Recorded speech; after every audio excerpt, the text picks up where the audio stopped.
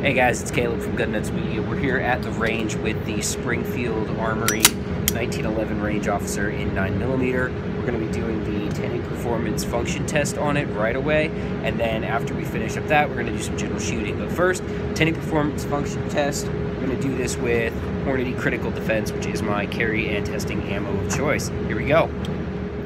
Okay, so for the 10 function test, we're going to be using the factory Metalform magazines. I have four of these, two of which I had before, and then one of which, uh, two of which came with the gun. Uh, the first thing is eight rounds slow fire.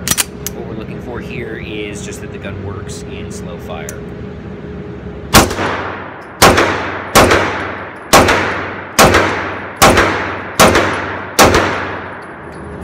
Seem to go just fine. Next is eight rounds rapid fire.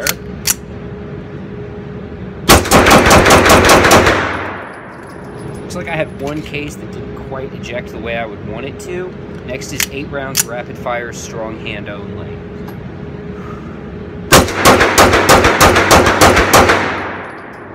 And we had one case come straight back at me, but otherwise no problem. All right, this is where we really test the extractor. We're gonna fire eight rounds without a magazine in the gun. So we're going to load, close the slide, take the mag out. These are going to be two-hand limp wristed.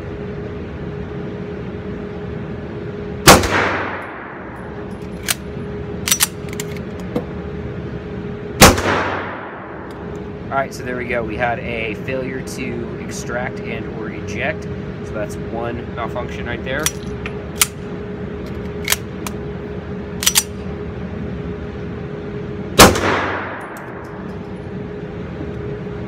I jacked that up. I left the magazine in. That one ejected.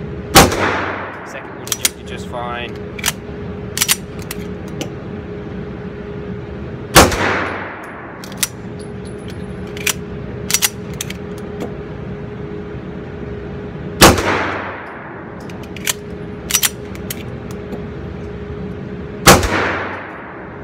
That one ejected, but came straight back at me. All right, and that's eight. We had one failure to eject. Now we're gonna do the same thing, no mag in the weapon, but uh, one-handed grip. Now this is not a limp-wristed one-handed grip. It is just a one-handed grip. I don't know if you guys saw that. The case fell straight down out the bottom of the gun. That's uh, not how that's supposed to go. That one ejected correctly.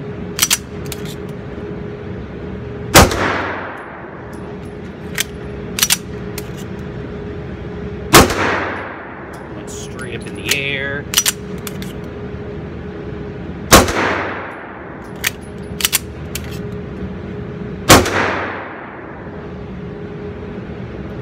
Failure to eject fully.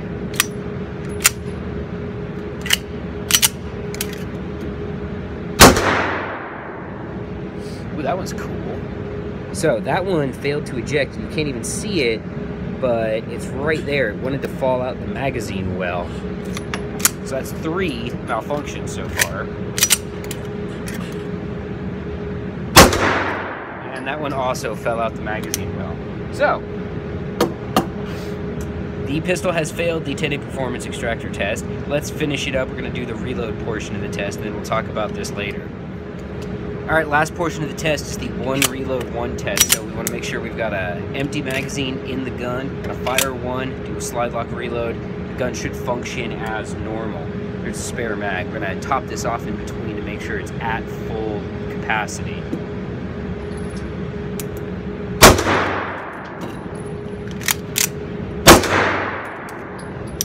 That looks like it worked pretty good.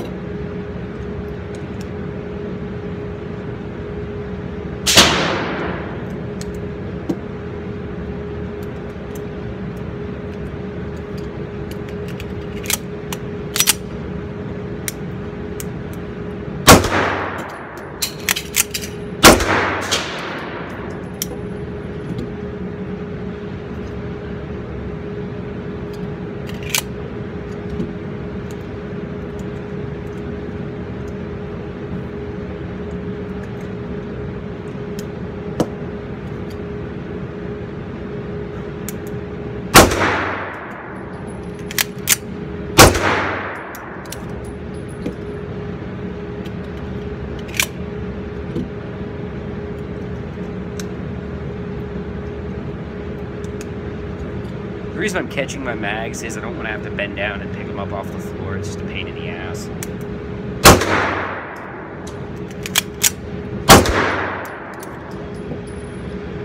Alright, last run.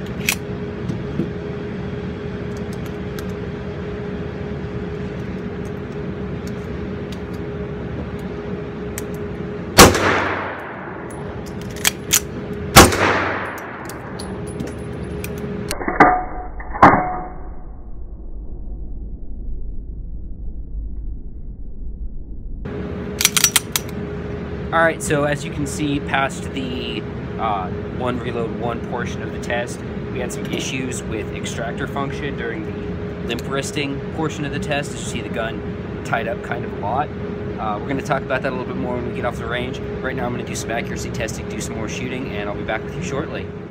I'm back from the range where I was shooting the Springfield Armory Range Officer 1911 in 9mm. As you saw in the video, the gun had three failures. It had they were all failures to eject slash extract, meaning that the extractor, when you fired the gun with an empty with no magazine in it, I should say, failed to pull a case clear of the gun. What that means for the gun is we're going to dock it three points for each of those, and then another 10 points for failing the 10-8 function test. It sits right now at a score of 87. I don't expect it to fall much lower than that. During the rest of the testing that I did today, I fired an additional 200 rounds. There were no failures of any type. What that means is this gun definitely wants to have a magazine in it to function correctly, which I should note is how the 1911 is designed to function.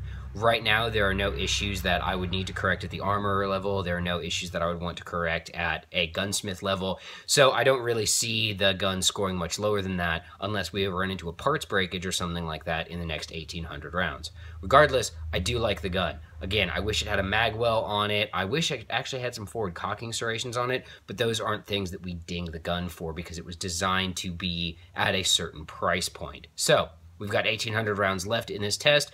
We're going to keep shooting it. Obviously, we're going to see more videos. If you like our 1911 test videos, make sure you subscribe to the channel to get updates on the guns as we do them. So right now, we're doing the Springfield Armory 9mm 1911. After this, we're going to have a Rock Island in. Then we're going to try to get our hands on one of the uh, entry-level Colts, and we're going to see where it goes from there. I'm Caleb Giddings. Thanks for watching.